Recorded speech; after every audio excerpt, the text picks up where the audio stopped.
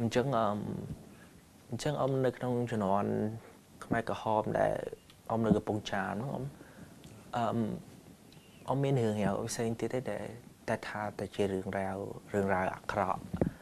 បានកើតឡើងមកលើខ្លួនអ៊ំគ្រប់គ្រួសារអ៊ំអ៊ំចង់និយាយប្រាប់ខ្ញុំទៀតអ៊ំវាមានវាមានតែអ្វីដែល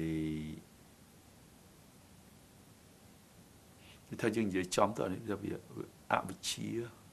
ពួកនេះវាអវិជ្ជាហើយវាសាហាវវាដូចវាចង្អុលយើងមកយកភ្លើងមកដេញយើងពីមួយកន្លែងទៅមួយកន្លែងអីហ្នឹងដែលធ្វើឲ្យអាកន្លែងហ្នឹងដែលរហូតមកដល់ថ្ងៃហ្នឹងក៏នៅតែដូចវានៅដូចនៅមុខយើងអញ្ចឹងខ្ញុំអត់ដឹងយ៉ាងម៉េចយើងចង់ឲ្យអាអារម្មណ៍ហ្នឹងដូចថាកុំឲ្យវាមានឬក៏នេះដូចឃើញវានៅស្រស់ស្រស់អញ្ចឹងវាដូចថា ជីវិតយើងដូចថាវាវានៅផាត់ផោយផាត់ផោយតែពីអាកន្លែងហ្នឹងយើងជាកថាឃើញវាអញ្ចឹងបើពេលនោះវាចប់ត្រឹមប៉ុណ្្នឹងអីដូចវាល្អជាងអាយើងនៅហ្នឹងវាដូចវាយើង30ឆ្នាំក្រោយយើងដូចយើងនៅវានៅតាមមុខយើងដូចយើងបើកភ្នែកទៅនៅឃើញវាពេលយកសពយកសពឃើញវា ចូលសពឃើញពេលដូចទៅប្រជុំចឹងអីទៅវានិយាយទៅវាយើងដឹងថាមិនស្រួលមែនតើណាពួកយើងដូចនឹកឃើញអាពេលចុងទៀតជាពិសេសអាពួកក្មេងៗវាដូចអាយុពី3 10ឆ្នាំហ្នឹងវាពេលខ្លះវានៅក្រុមផ្ទះយើងប្រលប់អីចឹងវានៅក្រុមណាជុំមិនចេះយើងគិតថា អាហ្នឹងតែដូចថាវាអត់ដឹងនិយាយថាម៉េចទេវាគេនៅក្រុមផ្ទះយើងមិនទៅដូចវាមកតាមយកការពីយើងឬក៏យើងធ្វើអីព្រោះយើងពេលខ្លះយើងឃ្លានយើងឃ្លានជួនកាលយើងមានកអីតិចតួចយើងអត់ហ៊ានដាំទៀតព្រោះដល់អញ្ចឹងទៅដូចវាអាពោះហ្នឹងក៏វាផ្សារអារម្មណ៍យើងក៏ដូចវាមិនដឹងជាធ្វើម៉េចដូចយើងស្លាប់វាមិនស្លាប់ព្រោះយើងហួស ក៏ដូចវាមហួសជាមនុស្សរួចដល់អាអានឹងឯងដែលធ្វើឲ្យនៅរងថ្ងៃហ្នឹងខ្ញុំអត់ដឹងថាមិនដឹងជាត្រូវធ្វើយ៉ាងម៉េចប៉ុន្តែពួកឆ្លប់ហ្នឹងច្រើនគេមកនៅក្រុមតែយើងក្មេងៗហ្នឹងគេមកយកការអីខ្លះទៅ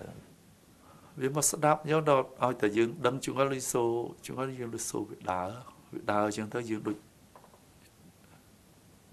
យើងសឹងថាយើងក៏ចង់ងាកខ្លួនយើងមិនហ៊ានងាក នៅក្រុមផ្ទះយើងហ្នឹងអមណាបាទអញ្ចឹងកាលហ្នឹងគេមកស្ដាប់យើងហងហើយឬក៏យ៉ាងម៉េចវិញអមតាមមើលដោយពេលគាត់យើងលឺអញ្ចឹងទៅយើងទៅអត់ស្រួលអត់ស្រួលយើងអត់ដឹងថាមិនដឹងជាមានរឿងកើតឡើងពេលហើយអញ្ចឹងអមកាលហ្នឹងនៅក្នុងសហគមន៍មួយមួយវាចង់និយាយថាវាបានកាត់ផ្ដាច់ទំនាក់ទំនងគ្នាពីមួយទៅមួយអត់មានទំនាក់ទំនងអីចឹងអម អឺហេតុអីបានជាអ៊ំអាចដឹងជ្រាបអំពីការបាត់បង់អាយុជីវិតរបស់ប្អូនអ៊ំហើយទៅក៏បងថ្លៃតទៅនឹងក្រុមគ្រួសាររបស់គាត់អញ្ចឹងកាលពីពេលហ្នឹងមិនក៏បានជាអ៊ំបានជ្រាបពីព័ត៌មានដឹងដែរអ៊ំ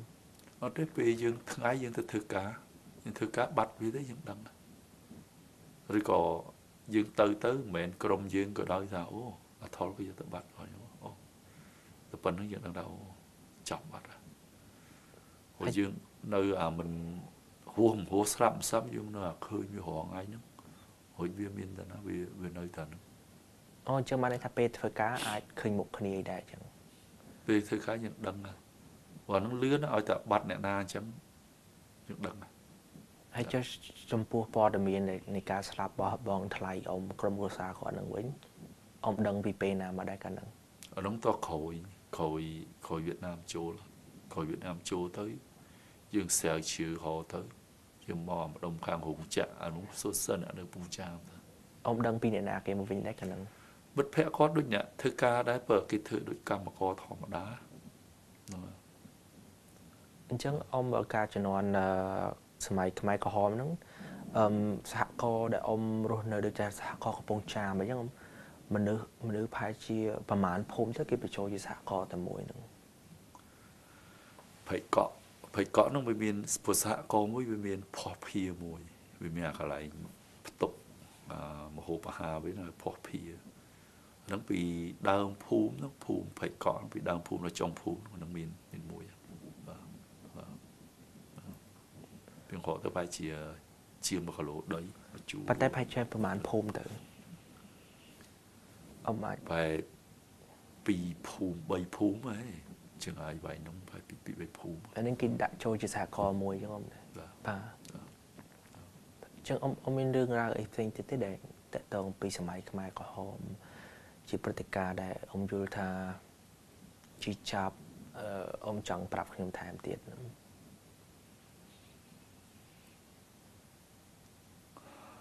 ព្រោះនឹងវាមើលទៅវាច្រើនពេកអានោះដូចថាវាកើតដល់ដូច យើងនិយាយថាវាស្រាប់រស់ហើយយើងនិយាយថាវាដូចវាប្រមាថយើងណាប្រមាថឈឺជាងគេវាប្រមាថដែរតែយកវាហៅខ្ញុំតែតយងតយងហើយយកតយងទៅវាយចោលនិយាយចឹងហូចហូចវាវាក្មេងវាស្ពេកភ្លើងហូចដល់ចឹងទៅយើងដូចអត់អស់ហើយវា ជីវិតយើងគឺវាផុយទៅប៉ុណ្្នឹងបើវាពេលហ្នឹងវាអាចទៅបើជាគិតទៅដូចទៅតាផិតផោយផិតផោយក្មេងហ្នឹងនិយាយពេលដែលអ៊ំពេលអ៊ំឈឺហ្នឹងអ៊ំណាអត់ទេជួនកាលពេលធម្មតាអញ្ចឹងវានិយាយហ្នឹងបើយើងអត់ដឹងថាវានិយាយលេងវានិយាយមែនរួចយើងយើងដឹងថាជីវិតយើងរួចអាមាត់វានិយាយយើងអត់ដឹងថាវានឹងវាចង់យ៉ាងម៉េចទេ គេនិយាយមុខយើងអមណាបាទនិយាយមុខយើងបាទបាទអឺមកាពីដំបូងមកខ្ញុំអត់តបានសួរអ៊ំតាក់ទងពីចង់និយាយថាពេលដែលគេបង្កើតសហគមន៍ចូលមកដល់ពាក់កណ្ដាលឆ្នាំនៃសម័យខ្មែរក្រហមអញ្ចឹងអឺរបៀបរបបនៃការស្លៀកពាក់ហ្នឹងយើងត្រូវស្លៀកពាក់លើមិនហើយ